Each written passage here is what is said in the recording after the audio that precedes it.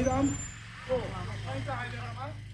त्यो कार्यक्रम विगत केही वर्षदेखि यो हाम्रो अभियान सुचारू भइरहेको छ र आज कोभिड नाइन्टिनले गर्दा विश्व नै एकदम आक्रमण भएको अवस्थामा यो चेतनामूलक कार्यक्रम हामी यो विभिन्न धर्म समूहहरू टोल संस्था लगायत यहाँ उपस्थित महानुभावहरूलाई म हार्दिक स्वागत व्यक्त गर्न चाहन्छु र हामीले कार्यक्रम एकदमै छोटो रूपमा अघि बढाउन गइरहेका छौँ। यो भाषणभन्दा पनि एक्सनलाई अगाडि बढ्ने भएको हुनाले यस कार्यक्रमको जिल्ला समन्वय समितिका अध्यक्ष सदरा कार्तिकलाई कार्यक्रमको चाहन्छु।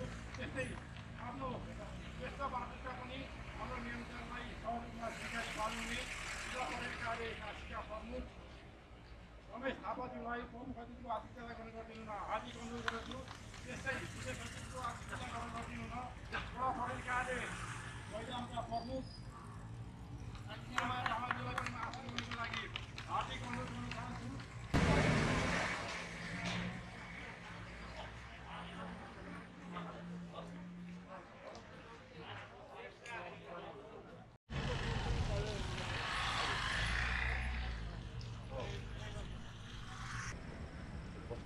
हुन्थ्यो रहेछ अँ,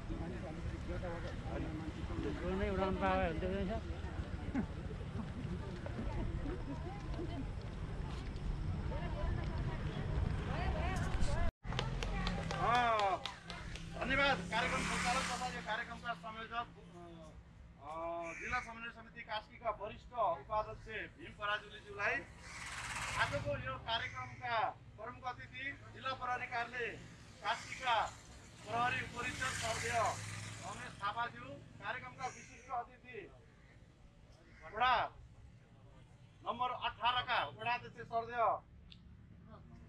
रणबहादुर थापाज्यू त्यस्तै विशिष्ट अतिथि। प्रहरी नायब परीक्षक सर्दिया विनिमय तामाङज्यू। जिल्ला प्रहरी कार्यालय अन्तर्गतका सबै महानुभावहरू। वडा प्रहरी कार्यालय अन्तर्गतका महानुभावहरू त्यस्तै सबै अन्तर्गतका सबै कार्य समिति पदाधिकारी तथा सदस्य तथा इन्चार्जज्यू त्यस्तै यो कार्यक्रमलाई भव्य तथा सभ्य रूपमा सफल पार्न पाल्नु हुने सृजनशील दिदीबहिनी समूहका अध्यक्ष लगायत दिदीबहिनीहरू त्यस्तै सेती बगर आमा समूहका अध्यक्ष लगायत दिदीबहिनी महानुभावहरू त्यस्तै सेवा पर्यटन विकास समितिका अध्यक्ष लगायत प्रतिनिधिज्यूहरू सचेत भएर आफू मात्रै सचेत होइन अरूलाई पनि सचेत बनाएर यो अहिले मास्क वितरण कार्यक्रमलाई यो जनचेतनामूलक कार्यक्रम गरेर यो पोखराको अति नै पर्यटकीय यो भव्य र पर्यटकीय स्थलमा हामीले यो कार्यक्रम लगभग आधा घन्टाको डिस्टेन्समा यो र्याली सहितको कार्यक्रम गरेर सबैलाई मास्क वितरण गरेर छ हाम्रो अ, प्रहरी उपरीक्षक सर्देय थापाजी स्वयं आफै पनि खटिएर यो कार्यक्रममा लाग्नु भएको छ वडाध्यक्षज्यू लाग्नु भएको छ।